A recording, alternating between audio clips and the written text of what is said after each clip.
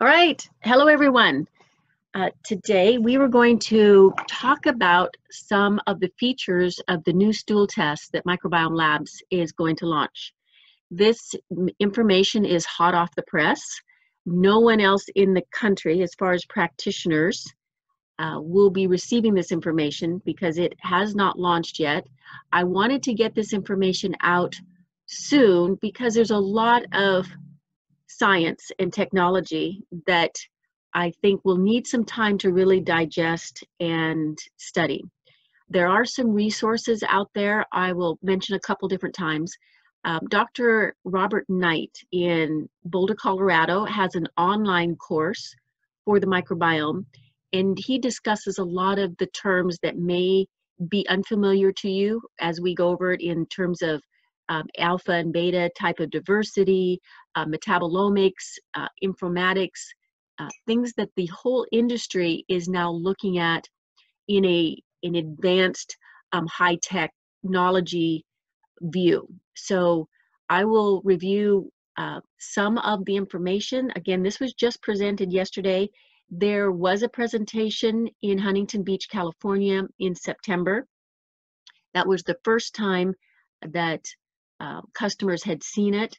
Uh, this will be um, right now just in Texas and Idaho, and then at the end of December there will be an official rollout for the the test. So let me um, go over the information and uh, just take some notes on questions that you might have, because again, this a lot of this information will be new. Okay, the first uh, technical thing we have to discuss is the resolution. So when we're looking at taxonomic ranks um, in the microbiome, you know, if you think back to your your classes, you know, discussing taxonomy, you go from um, kingdom, phylum, class, order, family, genus, species, and then strain. The current stool tests stop at species. So the 16S DNA PCR amplification only gives you species information. It does not give you strain information. So the next level of technology, the next generation of sequencing is called whole metagenomic shotgun high resolution analytics with functional conclusions. So that's what we're going to be discussing.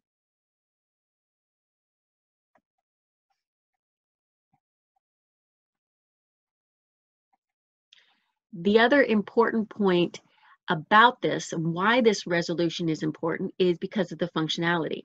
So the example I want to give to you is if you have 16S and you can determine you have a lactobacillus casei and an E. coli, if you don't have the strain information, then you could be missing some very important information. For instance, you can have several strains of lactobacillus casei they wouldn't necessarily be danger dangerous because different strains are generally used for food manufacturing, for wine, yogurt, and cheeses.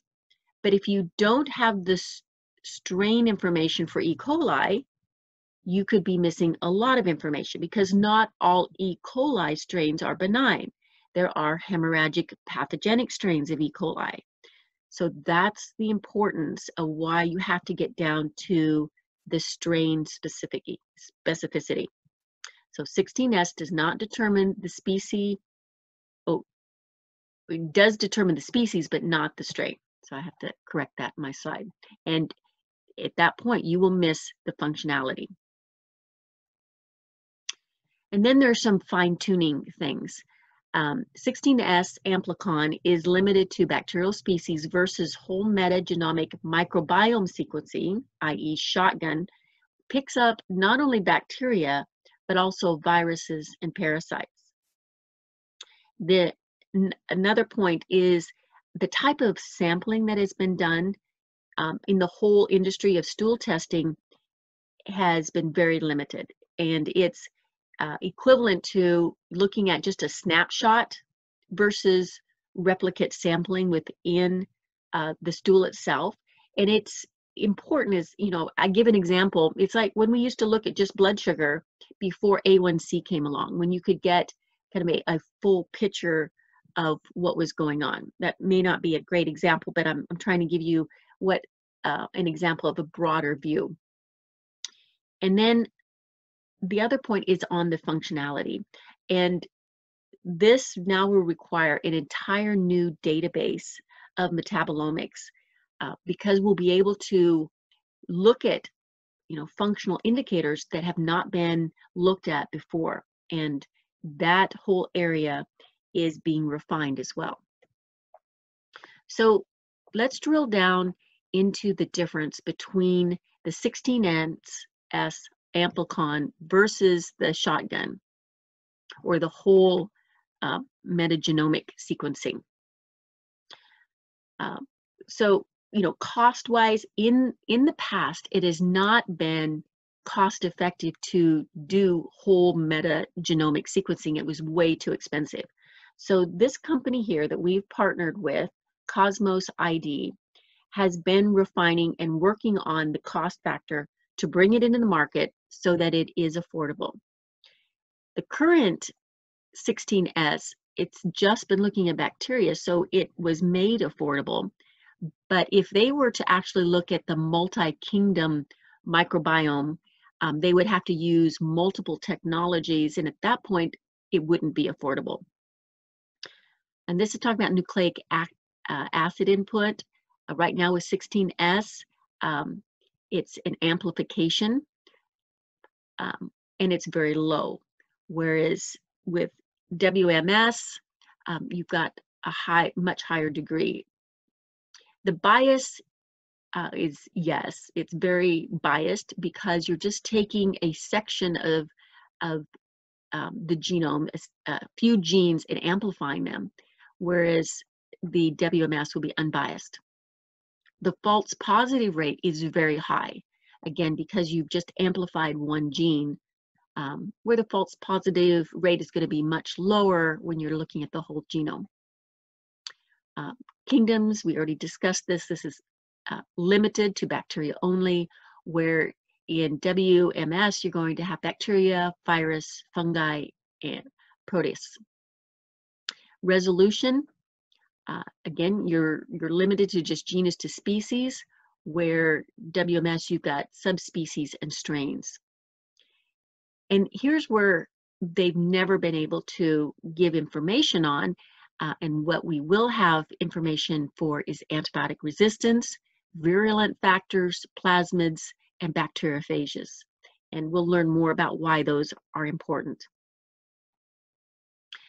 As I mentioned before too, there's a lot of errors in the whole industry of uh, stool testing. And you know what what they've had to basically re rework the entire system.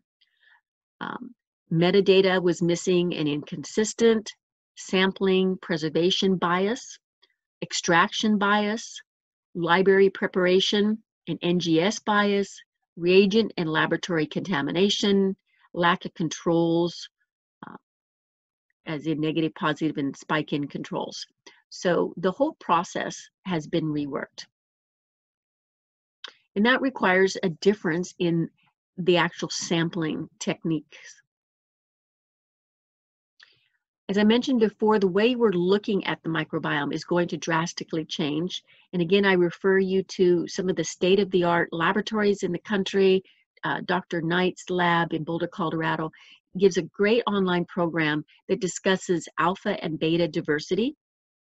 And this test uh, BiomeFX will will give you an indication of alpha and beta diversity in your stool test. Now these are the different functional tests that will be available. They won't be available in the first launch.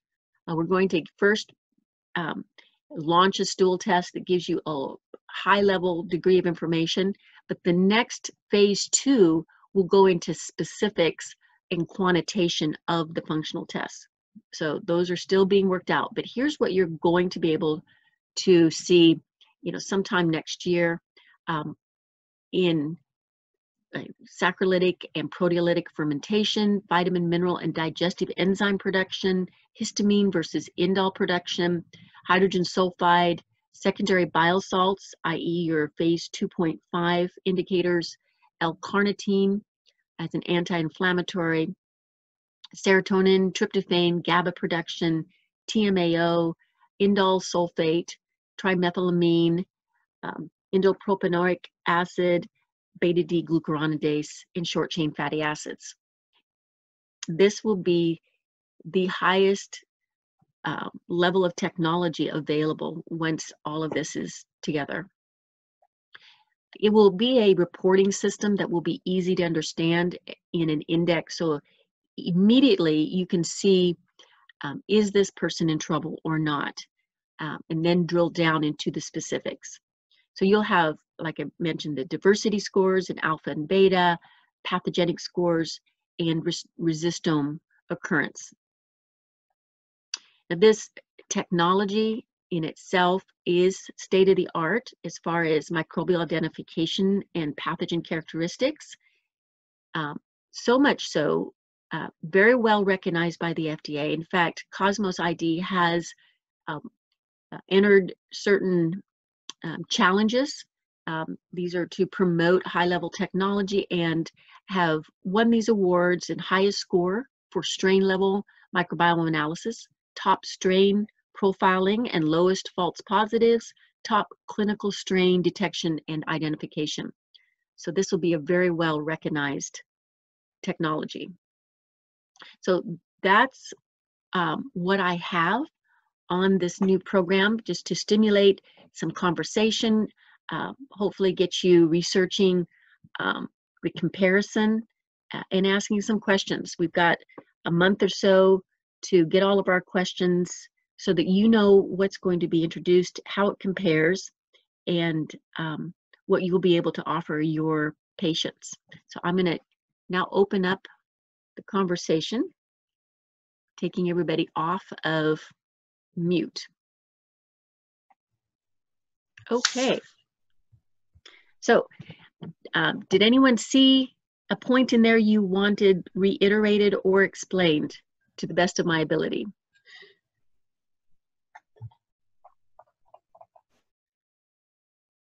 Will you have a, a sample report at some point to view what it looks like? Yes. Yes. Um, that should be coming very soon.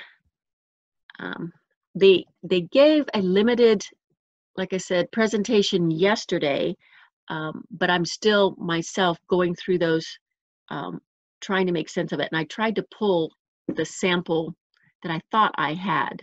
So let me see if I can find that. But in the meantime, anybody else that has any questions, let me know. Um, the, I have a question about Dr. Knight's class. Are we going to need to take his class in order to be able to interpret the? No, not at all. Um, I plan to provide you all the information that you will need to be able to present and interpret this test. Um, just for those who have a special interest in microbiome and the latest technology and education, just know that there are resources. Okay.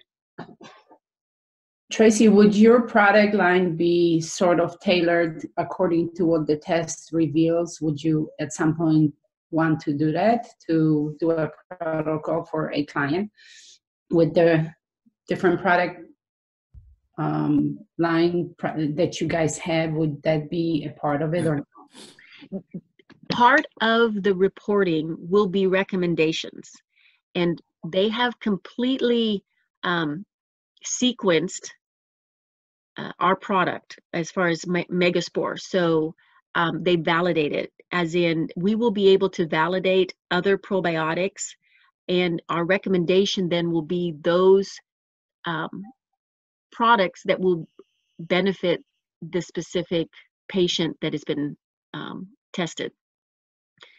And there, there'll also be other product recommendations and food recommendations to help you uh, in the you know consulting someone how to they'll see what's wrong with their microbiome but then you'll be able to give them direction that um, validated methods to fix it okay that sounds good.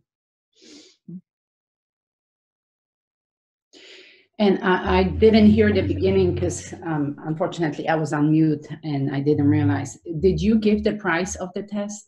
What it's going to be like right now, or is that still in there? They have listed it at $299. For the Um, one currently that you're launching right now? Correct, correct.